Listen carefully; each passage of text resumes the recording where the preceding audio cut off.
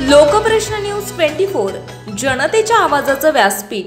गेले दोन दिवसांपासून वातावरणात बदल झाला असून थंडीची तीव्रता कमी झाली असून सध्या ढगाळ वातावरण निर्माण झालंय.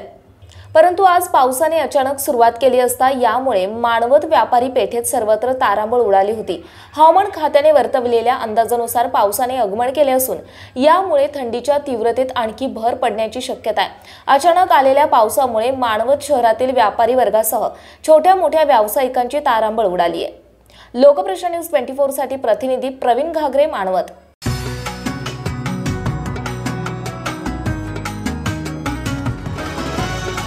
Lokprashna news twenty four जनतेच्या आवाजाचं व्यासपीठ.